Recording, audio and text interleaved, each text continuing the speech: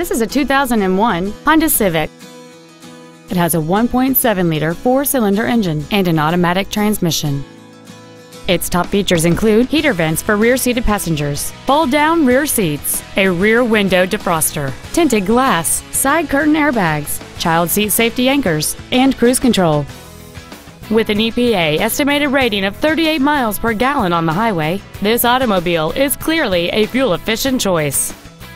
Call or visit us right now and arrange your test drive today.